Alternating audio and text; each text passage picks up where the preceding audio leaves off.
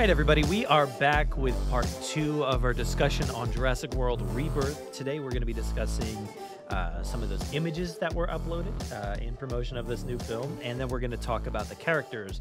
We kind of stopped our last recording at like, hey, here's all the, the character information and stuff like that. So, and we'll, we'll discuss some of the plot, of course, but um, but yeah, we've got a lot to dive into again. Tom, how you doing? You doing good? The same day that I talked Uh, to you last uh, time? Yeah. Yeah, I think it's it's literally been minutes since Yeah, we last Nothing, on a recording. nothing new happened since uh last episode. Oh, oh, oh, so much, so much. Yeah, Wait, like yeah. The problem um, is, I, I don't know if you've seen, but we've got the first trailer. I know the Can you is, like, imagine if there while- could be more information out there.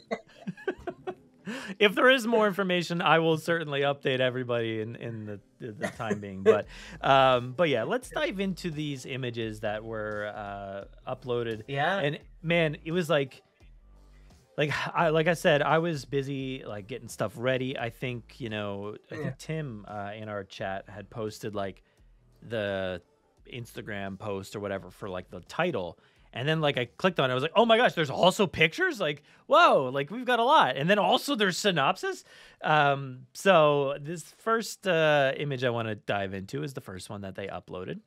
Um, we've got uh, and their their their synopsis or their whatever it's called description thing just says a new era is born. So no real information in there. But we've got a lovely picture of uh, two of the main characters, and then the second photo yeah, is Mahershala Ali. Uh, I'm going to go over to JurassicParkPodcast.com where I wrote up a little article. You can see it there, but I just Oh, want to get the bigger yeah. versions of the pictures. Um, so this photo's up uploaded first, and um, whew, my initial vibes because I, I looked at this photo before any kind of synopsis or anything was read, and I'm like, man, this is giving me 90s vibes, dude. This is like, oh, Yeah. we're, we're we're golden here. We're, we're in the 90s. Look at this. She's got like a bunch of really cool earrings. It's just giving me 90s vibes. There's like flannel, which is giving me 90s vibes. I don't know. He's got some cool looking glasses, maybe giving me 90s vibes. I don't know. Uh, it just looks cool.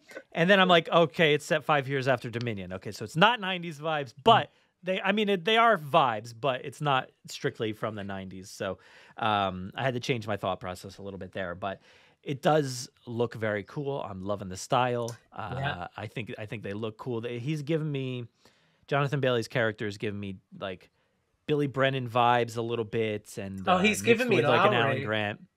Oh, oh, you're getting a Lowry? Okay, all right. Because of glasses. Am I giving you Lowry vibes right now? Um, yeah, you are. Yeah, um, but I like it. I like the style. Uh, she's got a backpack on. She's got a scarf on. I can't really see what kind of shirt Yeah. she has, but um, but yeah, she's got her hair up in the back in a ponytail. I, I guess that's what you would call. Uh, but, this is the uh, kind of riveting description yes. I live for. well, this is the thing. Like we we have to like dive deep into these photos. Like I zoomed in on like the clothes and stuff like what this to see if there's you know, man, come on. I'm I'm trying to see if there's any logos. I'm like, is there tattoos? Is there anything Dude, to be looking for? Edge, Oh my god! Look What's at that? the vein pop on his arm. Oh my god! Gee. yeah. Um, but we got the earrings over here. Uh, very cool style. I'm digging it all. Very adventurous looking. Um, and before we knew anything about the characters, this is I'm just looking at this and I'm like, all right, this is giving me Lost World vibes uh, because they're in the long grass. That's definitely not a good idea, Mhm. depending on what island they're on. Um, we do see like some mountainous landscape in the background. It looks like. Um, and uh, actually, let's look. I want to take a quick look at his eyes. Is there anything? Oh. Nothing. Anything reflecting? Wait, oh, wait, is zoom that, is that a in, in. brachiosaurus? Is that a brachiosaurus? I think that that. That looks like a brachiosaurus head to me. No, no, no, no, no. That looks like Paul Kirby. Oh, Paul. He's still there. He's like swinging on some scaffolding or something like that. He's just no, honestly, like I feel like I see like a crest of a brachiosaurus and the mouth. It's got like that, you know, like that happy brachiosaurus image that floats around from the Jurassic Yeah. production. Um, I've just got got, one like thing that. to say to you. Go if ahead. it was a Brachiosaurus, it would look more crispy. Well, there were brachiosaurs on different islands, my guy. Um, and like I've always said, I don't think that island's totally toast, but we'll see. Um, I hope they do like acknowledge that. You know, I, ho- I hope there is Mm. acknowledgement in this movie. If this is not Nublar, I hope they at least say, Mm. in not in not in like a news announcement form. you know, some other form, please. Not like a. It's been five years since the destruction. yeah. Um. So this to me looks like that kind of moment though, where he could potentially Mm. be seeing a brachiosaurus eh, reflected in his eyes. I mean, his eye line, Um, his eye line would be at the right level. he is looking up. They are kneeling down. Yeah. Um, and sh- she's like a little bit more concerned, but it's it's definitely not a, a scared. Neither of them Yeah. are giving me scared vibes. They are not looking at something scary. No, and Um, I think the dynamic makes sense, right? Because he's the paleontologist, so he's going to be excited, whereas she's obviously military, so she's going to be thinking about safety and the security ramifications. Um, Mhm. there is a big elephant in the room in this picture, which is the fact that they're stood in long elephants. grass. Oh, yeah. Um, Yeah, so the long grass. this, I believe, this is from one of the sequences that's being filmed in Thailand um, and they had like placed a bunch of long grass for the filming. But obviously, long grass within our franchise has a very specific meaning. Uh, you usually find particular animals use the long grass for hunting, so it is, you know, an, an interesting point of speculation as to whether we're going to see any velociraptors in the long grass again, um, or whether this is just setting that aesthetic. yeah, I mean, who knows why they're here, what they're doing in Mm. this situation. But like, I always love to think about the real world, um, like Yeah. information that's out there. If if like, you know, the Lost World's been out there for Mm. however many number of years. There's certainly been a book written. There's certainly been information written about the long grass, and we do not need to go into the long grass because that's a breed, uh, you know, a, a feeding ground for velociraptors. Mm. Um, so, like, th- yeah, I'm wondering, like, why do they think this is a safe spot to be? If this is not Sorna, I, Mm. you know, we might not have anything to worry about. If if there's no velociraptors here, maybe Well- who knows? There's an interesting question as well, actually, and this this is the first time I've properly looked at this with an analytical mindset, which is that actually are those mountains in the top right hand corner? Because if they are, that gives us some good insight into the top- topography of the island, um, and being mountainous would be again very in keeping with the islands that we already know from the franchise. Um, so that's just an interesting point as well. It's interesting. I mean, it looks like Zora is wearing a sleeveless shirt, which would make sense, possibly Yeah. a sleeveless vest. Um, like you say, she's got the scarf. The thing I find interesting, although it could be in her other ear, is the fact that there's the um obviously piercings. But when I initially looked at it before I realized it was piercings, I wondered if it was an earpiece. Because the thing that strikes me almost immediately is this doesn't give off the vibe of kind of special forces, which they say her background was. But in the synopsis, it says very specifically that she's been contracted. So I wonder if her, um, Mahershala, and the rest of the characters in this are actually PMCs, private military contractors, which would make a lot more sense because then we're seeing something like in Jurassic Park 3, where it's people who have been hired to go on this mission, and maybe Henry is the person who's been sent by the pharma group and they've hired the PMCs to protect him, or something similar.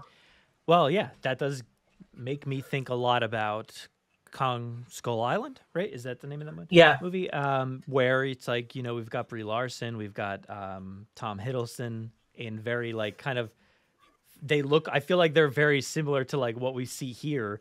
Um, and they Yeah. also had a military outfit along with them. He was the tracker guy who was like very good at like doing stuff like that, and she was the photographer. Um, so maybe re- role, re- roles are kind of reversed here in a way, but um, but yeah, I, I definitely see the vibe as like something like that. Um, and and yeah, I, I bet she's got wh- which we'll talk about. Maybe we'll talk about um, Hmm. Oh, we actually, I think we did. I don't know. Well, but anyway. Um, So I, I tell you something that's quite interesting, which is if so the the phrase top secret is used to Mhm. describe the mission, right? And if they're PMCs, then they're not operating on behalf of the government. So where are they going that needs to be top secret? In this universe, we know that obviously Sorna was restricted. Presumably, Nublar's restricted after the events of Fallen Kingdom. Is it possible that the government have already found out about this third island and this new island is restricted as well? That's what I I find interesting because the idea of it being top secret suggests that whatever they're doing would be ethically frowned upon by a government entity. Yeah. Yeah, I mean, I uh, I would assume they'd all be restricted at this point. Also, the fact that I've come up with way more discussion than I thought I'd have for this picture. I'm quite proud of myself. oh, you can't be surprised. Um, the fact that they're racing to secure DNA also is very Yes. interesting to me. Like, who? What are they racing against? Is this like another film Yeah. where like there's a second team? Oh, why would why would Hammond send two teams? You know, like is there another team out there that they're racing against? Is there the government that they're racing against? Is Yeah. there like some order to kill off the dinosaurs and they're racing against doing something like Yeah. that? Like, uh, so I I don't know why they're racing. And is there a time, only like a certain time period where this is possible? Like, like if they don't get the DNA now, is there a chance to get it later, or is there no chance Mm. To get it later? Like, so I'm I'm really interested to see. Like, I, I would love it if there was the whole like we're bombing the islands, you know, like Yeah. know, like we've heard before, and, and There's actually uh, a volcano on island number three that's about to erupt. I no, honestly, like if if if they did find out that there was which thirty something years later, how could they just find Mm. out? I don't know. Um, but um, but if they just found out that there's like uh, you know a third island with uh, reject dinosaurs out there or something like. I could definitely see the government being like, "We need to take care of this right now," you know, and this needs to I bomb. And then this life-saving, miraculous, you know, big pharma guys like, Mm. you need to get out there now. They're the top. The clock is ticking. You need to do this before, and then it's like a I- whole race. You know, like I could see that being a, Mm. a possible plot. I hate my brain so much because sometimes know, it, just- it it thinks of things and then I'm like, why have you done this? So my immediate thought is if this third island exists, right? Let's say it's an InGen island. Even if it's a secret island, it would have been on the book somewhere. So when Ludlow took over, wouldn't he have gone there?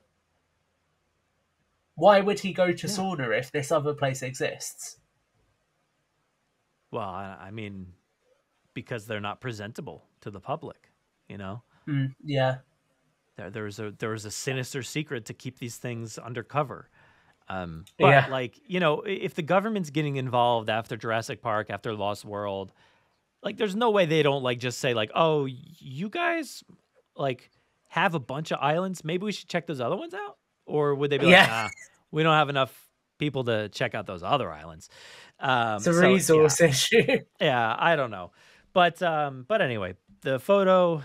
That's about it from the photo. I, I like what I'm seeing here. It's a good vibe.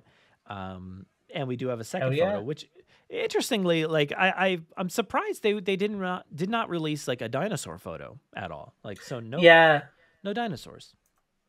So this one is interesting because I think it's quite clear it's on a dock, which I haven't seen a lot of people say. But if you look around the base, you can see the lights that would be on the dock, which means Yeah. that when it It's like says tie down um, right uh, wha- there. You can see yeah, and and rope So and where- stuff like that. yeah, where it says on the sign behind Mahershala, um, await rescue craft here. That's Mhm. presumably a rescue boat, right? Now there is the elephant in the room, which is that bottom right hand corner InGen logo, so we know that this Mhm. is an InGen island. So Um, stupid, by the way, that we can just zoom in on a blurry photo and be like, "Yeah, that's the InGen logo," Yeah. and we all know it instantaneously. Like, so dumb. This was I literally retweeted their official. So this was one of the tweets that blew up. I retweeted their official post with the two pictures and was just like, "Does that logo say InGen?" with like a zoomed in screenshot? And I guarantee you, the social media person would have been like, "Why the hell is this absolute annoying notice this. like, why? um, yeah. But yeah, so that that kind of says to us that it's an InGen island. Clearly, Mahershala is squaring off against a dinosaur or something because he's got the flare in hand. Interestingly, his uniform's looking a lot more traditionally militaristic, so he's got camouflage cargoes.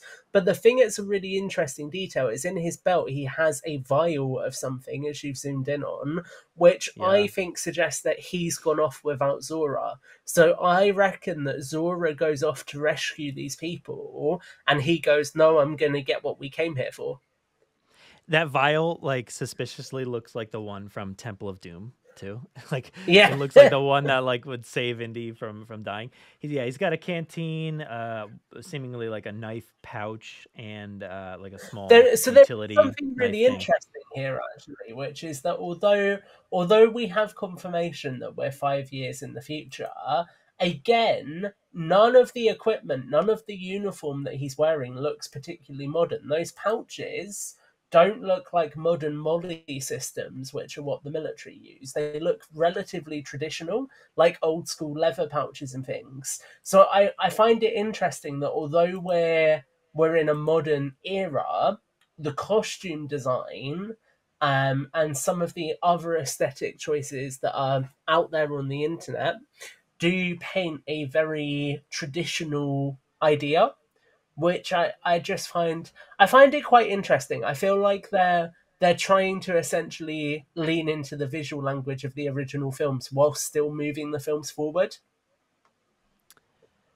Yeah.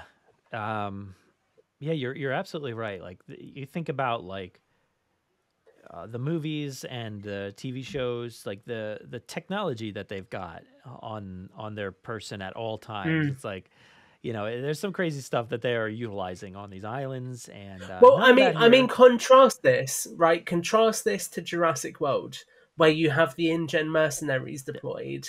They Mhm. are fast special forces helmets. They've got Kevlar vests. They have literally got an MRAP. They've got a Humvee. They have like the most cutting edge technology.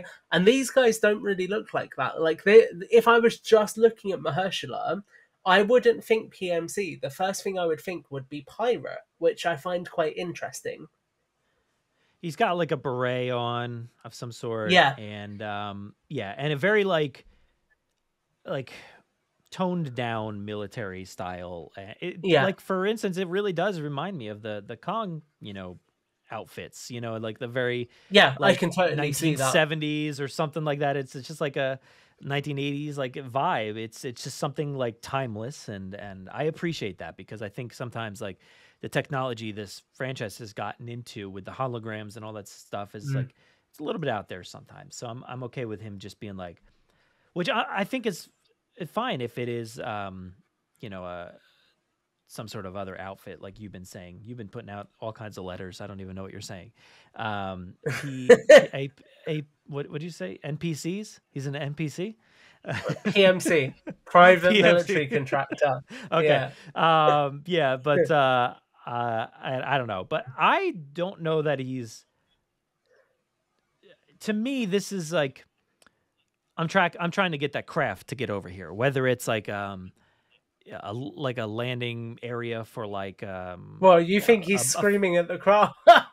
Yeah, dude. I think he's like, hey, hey, you know, get down here, hurry up, come on, like. And I could definitely I'm see a dinosaur you- coming and chomping him on the side. Yeah. you know, when that happens. I'm going to tell you exactly what is happening here. He's not screaming at a boat. He's screaming because the aquatic animal that attacked the family boat has just come out of the water. Mm. Because think about some of Gareth Edwards' shots with like Godzilla in the water coming out of it. Yeah, I mean that that would be that would be awesome. I, I'd love you know some marauding dinos attacking. It's him right actually the USS Argo from the creator. He's just noticed it in orbit and he's like, oh no, we're about to get bombed. the big beam floating down. Yeah. Um, yeah. yeah.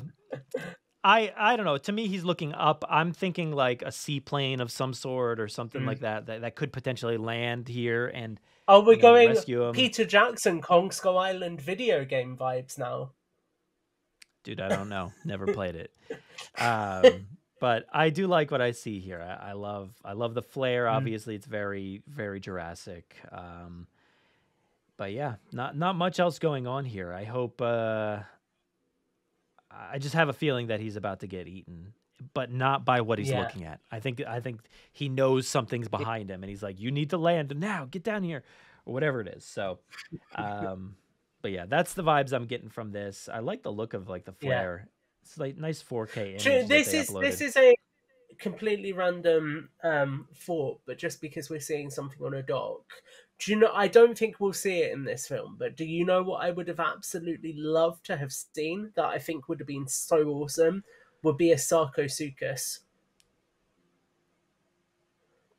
Oh yeah, that would be awesome. I had to think about what that was for a second. Like, I, I could like see the cogs the- I was like running through toys in my head. I'm like, I know it's a toy. I know. Yeah. It's, oh yes, yes. Uh, I think I got somewhere right around here, but uh, I I love that thing. I think that would be really awesome. It would Yeah. not be up there though. It would not be. That would No. be weird if it was just flying through the air at him. It's cool. getting airdropped in. we could we could airdrop these things in, and they would eat the enemy belt buckle and all. Uh, yeah, but um, but those are the two images. Wait, was that meant to be pretty awesome. Yeah, it was like a Owen Hoskins I, I mean, it, I was gonna say it was pretty much just Owen. yeah, I don't know.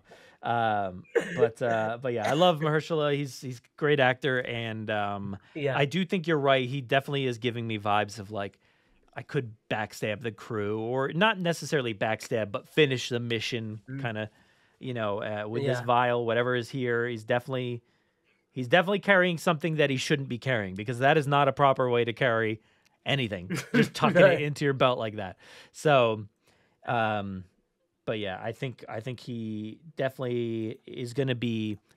Uh, which I think if you watched his recent movie, which um, uh, it's what was the name of that one that came out on Netflix? Something about the end of the world or something. Um, oh, don't look at me. I have no idea.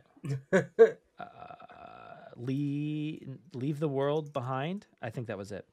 Okay. Um, yeah, leave the world behind. It was a very like kind of like mysterious movie about you know stuff happening in the world like whether it was like a virus or is the the apocalypse or whatever it is he was a very very mysterious character played it so well and um, i could definitely see him being like this like this guy that we find comfort in for sure but like we're not totally sure if we could trust him so It's hopefully got he pulls that something cooking under the surface for sure. Yeah.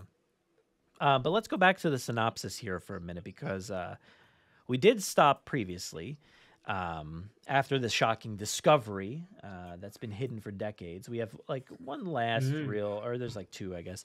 Um, but they mentioned that Mahershala Ali, actually, let me get this more on the screen for everybody.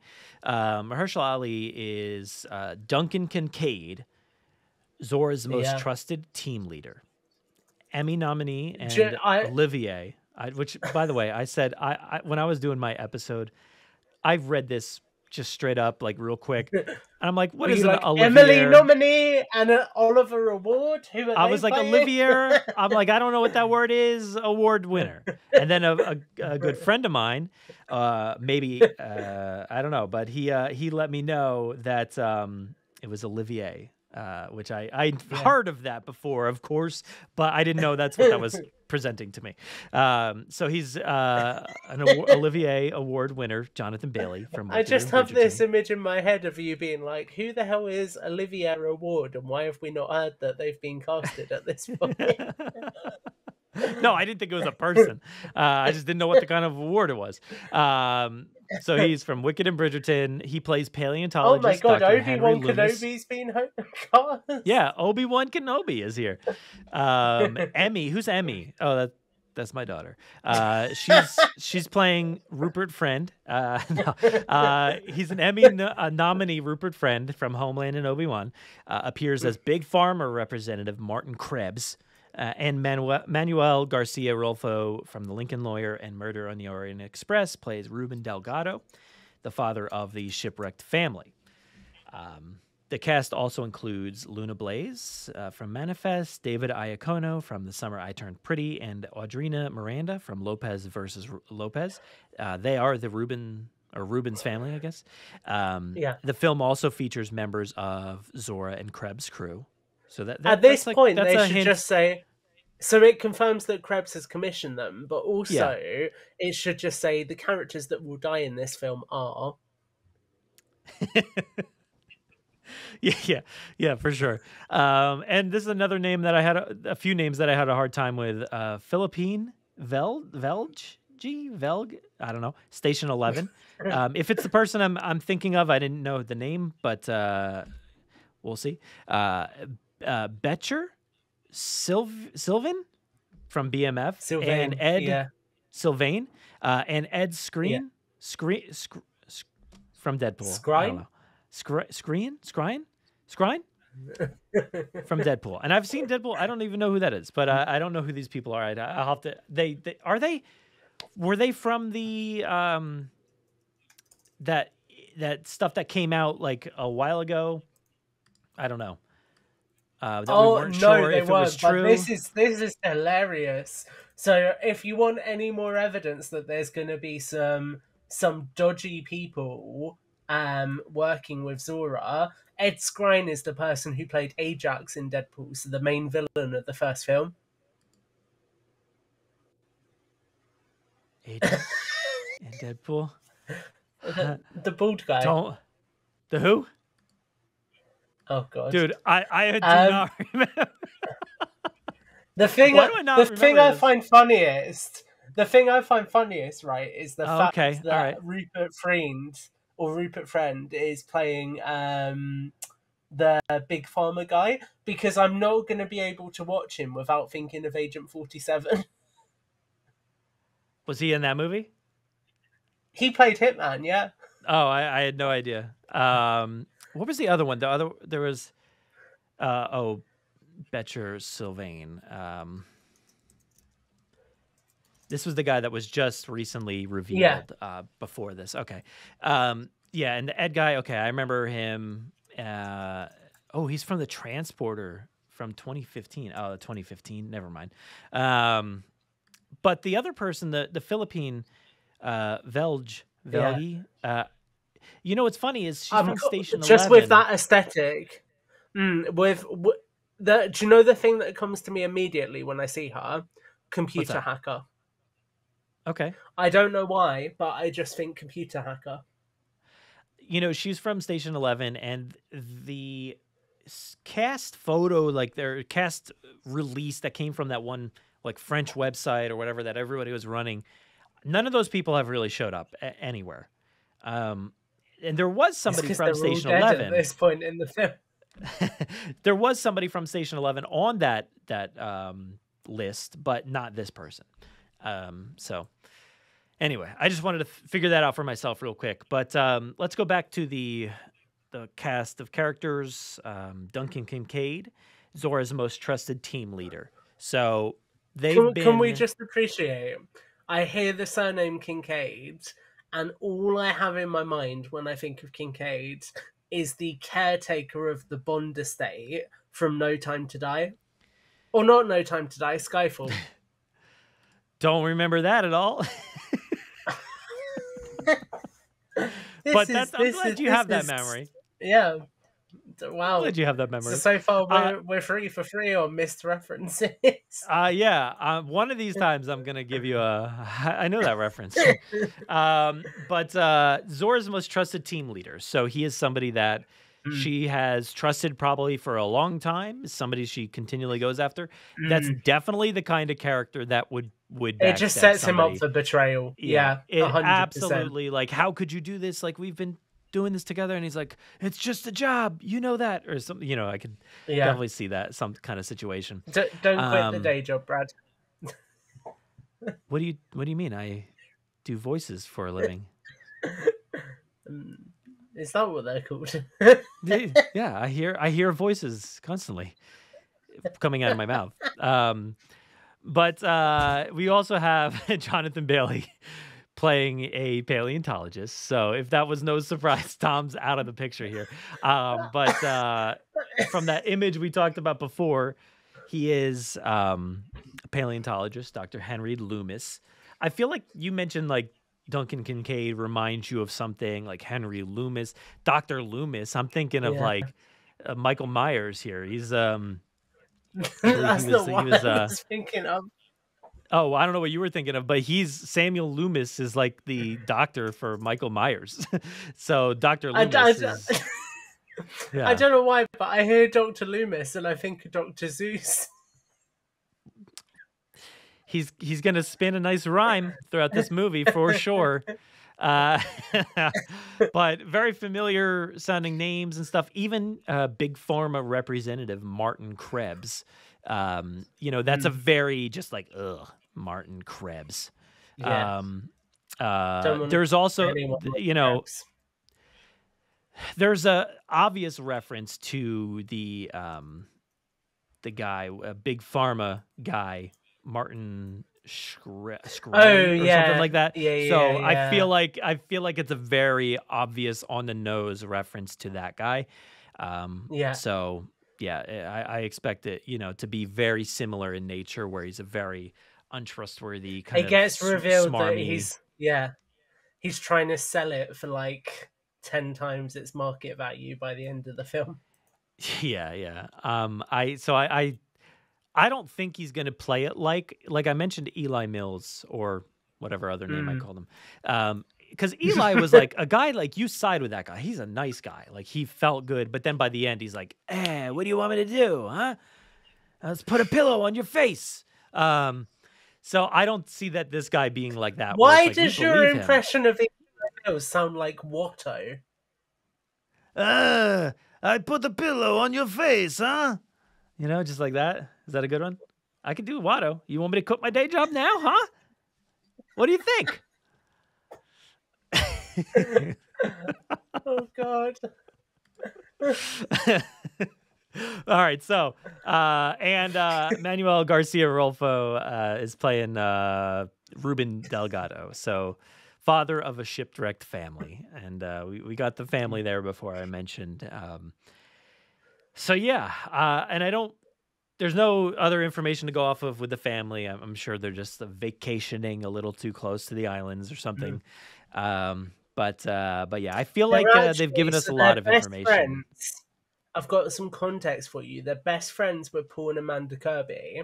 Paul and Amanda Kirby at this point in time love their sailing vacations. So they would like like you should go sailing near some islands. Nothing bad has ever happened to us near any islands. You'll be absolutely fine. And then what happens? It all goes to chaos. Dude, I, I hope like their boat is like named like the Enid or something like that. You know, like some sort of reference to the Kirby family. Um, no, in our Uh, it would just got- be called the Hammond. yeah, I mean there there could potentially be um like a a tie to something with that family just because they are I don't I, it's so hard to be in the wrong place at the wrong time next to these islands. Hmm. You know, like how do you how do you mess up that badly like by being near these islands? I don't know that that's possible. There's a chance that maybe they were just doing what the what um what's his name uh, Eric and uh, uh Ben Yeah. were doing. You know, the sightseeing kind of like excursion where they're getting too close. Yeah. The kids wanted to see it, or maybe that maybe the dad's about to die and he wants to get he wants to see a dinosaur before he dies, or something. You know, I I could see something like that where like there there's there is a reason for them to be there. Um, but uh, but yeah, I don't I don't think they're gonna play like you know a they have a secret to hide or anything. So. or Um, will they? well, who knows? Um, any anything else that you're gathering from this? Um, we, we well, we should uh, cover Zora again too because I mean Yeah. she plays covert operations expert, skilled covert operations expert. So, um, and she leads a team of skilled people as well. Um, so it's giving it's giving Owen Grady vibes, right? Like it's just skilled in in Mhm. a certain area of expertise. Um, so hopefully, you know, it's got it distanced itself from Black Widow and and that just generic military person. Hopefully they um they find a way to kind of bring that character to life in in a way that's interesting and useful. Um, you know, I, I had no problem with Owen. I think I, I do think though that it was semi one dimensional, and we have to really dig into his history to kind of understand Mm. some of the stuff. But Owen um, was very much just an action hero. yeah, yeah. Um, Mm. but uh, hopefully, you know, she can definitely bring a lot of good stuff. I think acting wise to this character and believability. I think so. Yeah. So I think I, the am thing I'm- I'm forward really- to her. I'm really excited about the fact that Scarlett is so excited about the film. Like just seeing Mm. her talking about it and seeing how passionate she is about it is really, really encouraging. Um, I mean, for me, I, I was excited for Scarlett when it started because she was like teenage Tom's crush. But the fact that she is just so excited about the source material as well is incredible because I don't think you you get actors that often who are so invested in the source material. Yeah, yeah, she definitely feels way more invested than a lot of people.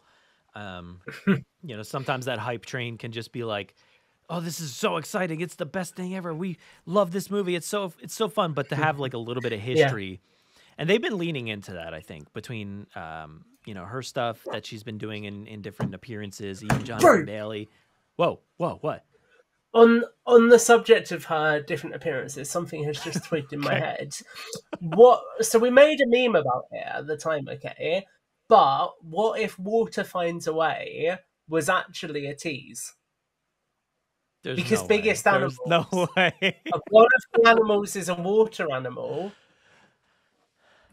I just you think- actually think... it might have been a tease. You think she was like talking behind backstage with Savannah Guthrie, like, oh my God, this is a big, there's a huge water sequence in this movie. And that's why she stumbled and she said, water finds a way, right? That, that's what you guys say, right? hundred And percent, yes. Yeah, I don't know. Dude, that would be mate, it's it's practically so confirmed. cringy. That would be so cringy if that's on the poster, dude. If the if they thought that was like Right, an, a ima- fun imagine twist. if that's like an actual sentence a character says out loud. Please no. Please no. I mean, they're they're filming post that interview, so it's possible. It's possible. yeah. And in that world, they've heard that for some reason they've heard that a lot. Uh, which has always Yeah. been funny to me that like a line that a guy said like just in one meeting with uh, a, a few scientists just became like a a staple of It that universe or like yeah. like John Hammond's Like, like, you, you can really like that he right, said that." so Henry Loomis, his biggest inspiration is Ian Malcolm.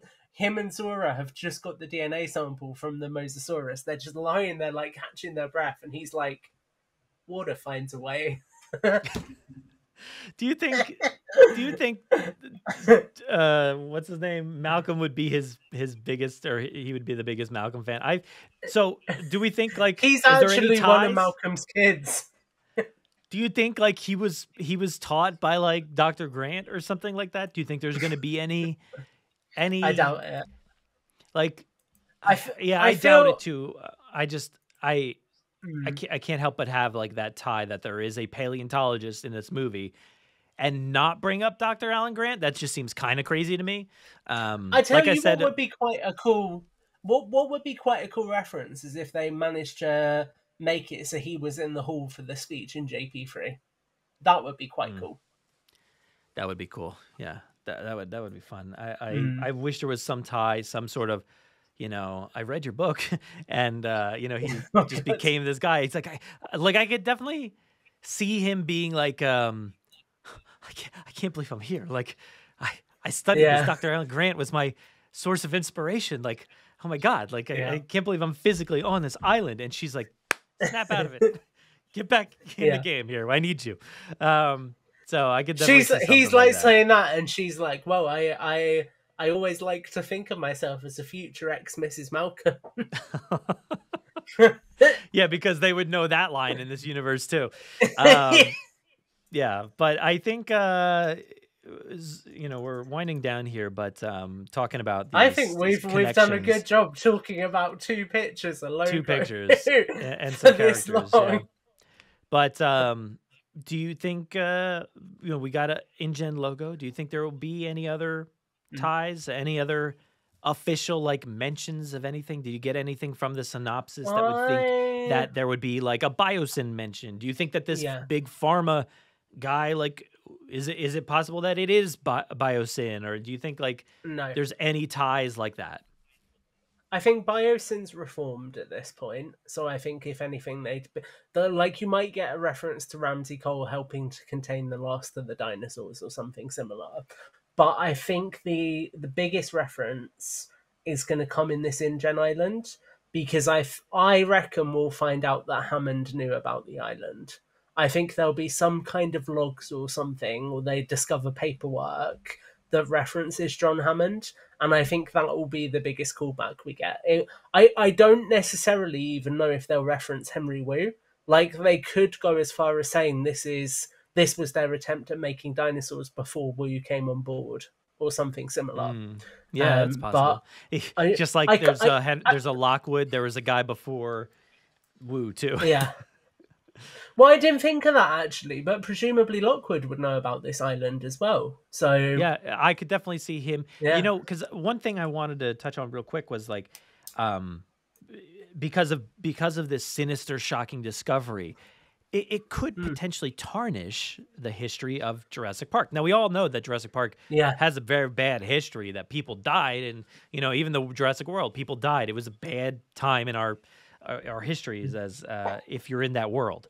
Um, but uh, do you think that there's a way that this movie tarnishes the legacy of john hammond and and the original park in any way um, by hiding a secret that like john Mm. hammond knew about or something? Do you think it's possible that we see some kind of retroactive like you know because yeah, a lot of people you know a lot of people complained but we we recently had the acolyte and um, i love the show personally but like some people didn't like the fact that they continually paint the the jedi as this like this just bad establishment that like you know we all Yeah. in the 80s and 90s we all had this great thought of the jedi as if they were like this great group of people but then the prequels started to shine a light on like maybe it wasn't the So, best see- organization and you know Yeah. stuff like that I, I think your reference to the Acolyte is a really good one because the issue there is not that the Jedi aren't a good organization, it's that it's repetitive.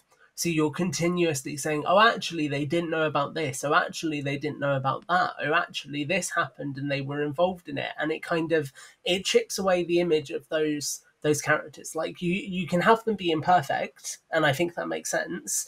But it's to what level you do that, and how much do you erode what people first knew about that character. So I think it's the same for John Hammond, really. I think they could do a small reference with it, but I think it would have to be very nuanced because I think if you go go too heavily into the oh Hammond knew about this all along and blah blah blah, then I don't think people are going to like that because you do exactly what Mhm. Fallen Kingdom did, which is add far too much juxtaposition so it begins to feel inconsistent with what we know beforehand. So it's a really fine balancing act to do it in a way that feels coherent, I think.